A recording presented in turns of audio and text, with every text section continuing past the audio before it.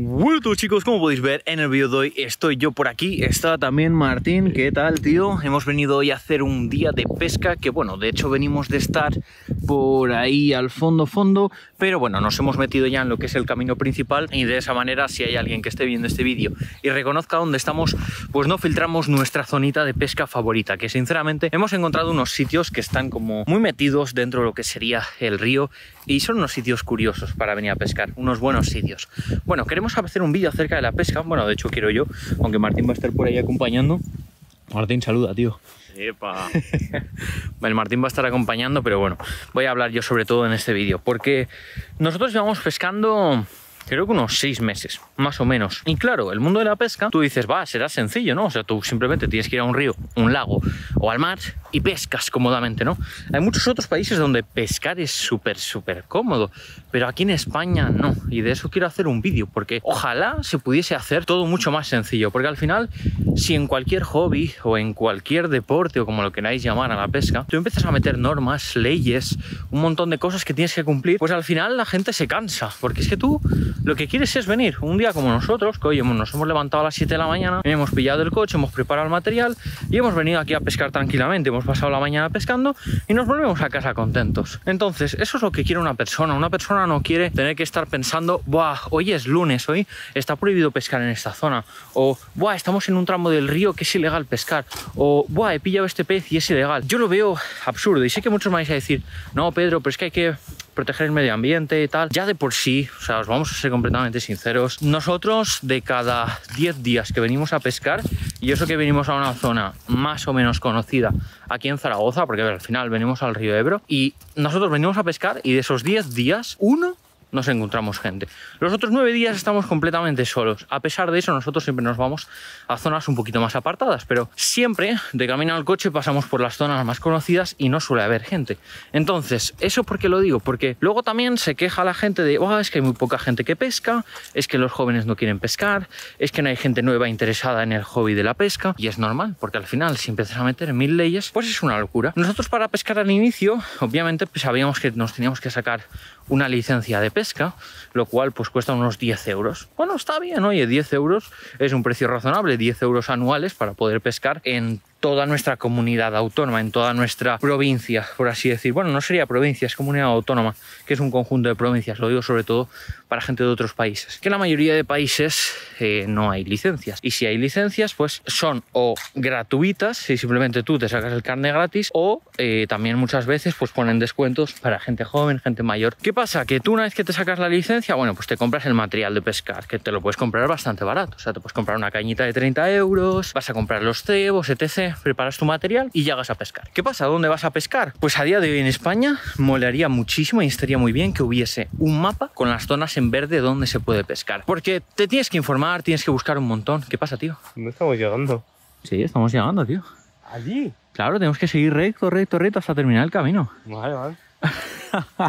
el Martín asustado porque no llegamos nunca, tío. Llevamos caminando igual media hora. Pero es que nos hemos alejado mucho, chicos, hoy. Entonces, hasta llegar al coche hay un buen rato. Por eso digo, voy a aprovechar el camino y me grabo un videito. Bueno, en conclusión, lo que os iba diciendo. Tú te sacas tu licencia, te compras tu material, vienes a pescar.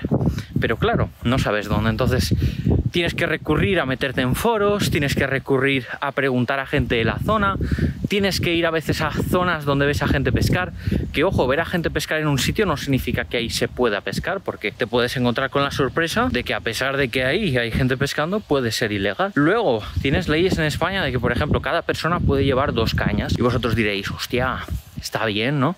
Dos cañas por persona. Bueno, ¿y por qué no tres, cuatro? No sé que al final las limitaciones son bastante locas porque mucha gente dice, no, pero es que si tú vas con cinco cañas y echas las cinco cañas, pues claro, vas a estar pescando como cinco personas. Ya, pero es que si me dijeses que están los ríos llenos de gente y que todo el mundo lleva cinco cañas, lo entendería. Pero si hay una persona con cinco cañas, sería como cinco personas. Y si no hay nadie más, pues yo lo vería bien. O sea, yo habilitaría que en ciertas zonas donde no hay mucha gente pescando o donde directamente no hay nadie, pues sí que puedes ir con más material. O sí que pudieses ir a pescar con redes, por ejemplo. O habilitaría, por ejemplo, en España la pesca con arpón, que es algo súper divertido, que en países como por ejemplo Estados Unidos sí que se permite, o en Latinoamérica. Y es brutal, tío. O sea, el arpón al final es un palo. Bueno, es un arpón, básicamente, es un palo con una punta al final eh, metálica. Tú lo lanzas, se clava en el pez y pues ya te puedes llevar el pez. Obviamente es un tipo de pesca que tú no puedes usar el arpón y luego liberar el pez, porque literalmente el arpón va, va a atravesar al pez por la mitad. Entonces es un poco loco, pero al final es si tú te quieres llevar ese pez para comer, o como es mi caso, yo por ejemplo, todo lo que pesco o todo lo que atrapamos Martín y yo,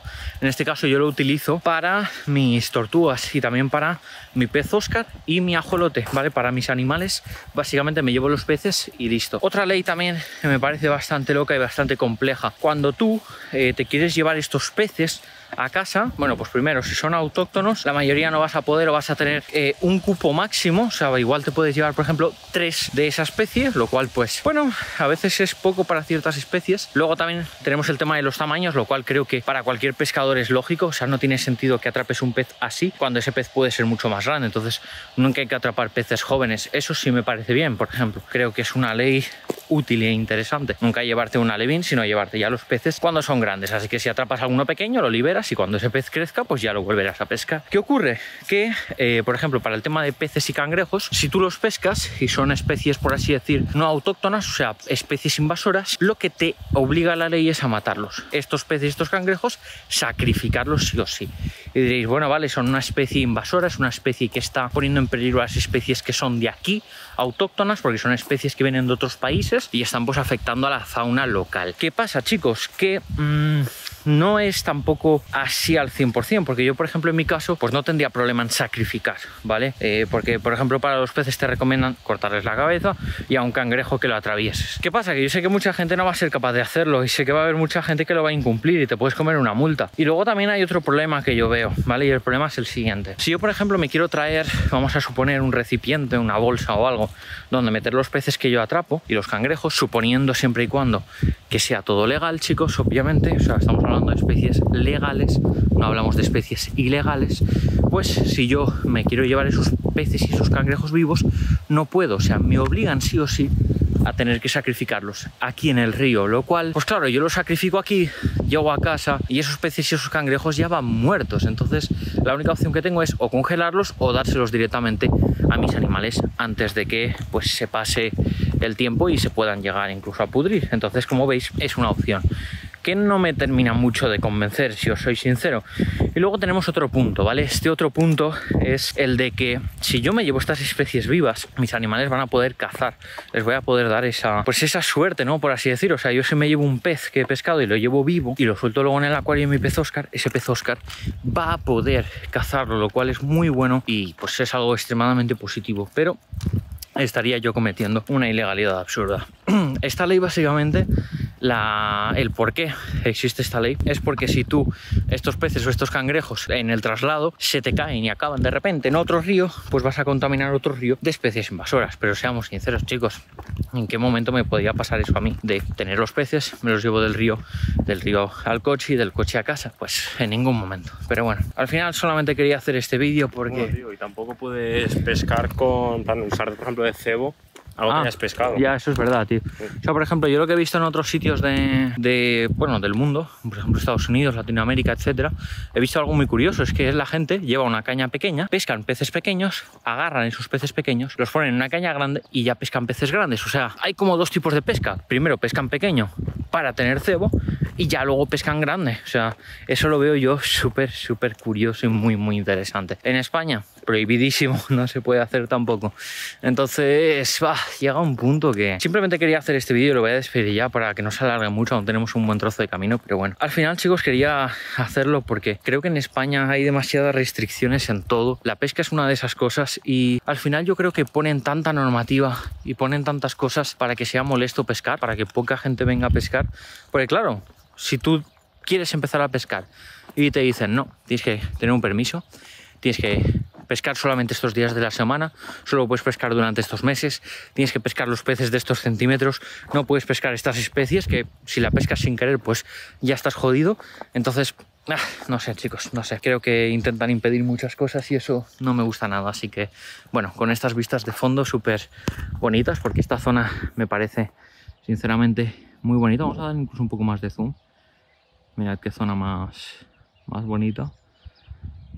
Puro río, al fin y al cabo. Pues bueno, vamos a despedir el vídeo por aquí, chicos. Así que espero que os haya gustado, que lo hayáis disfrutado.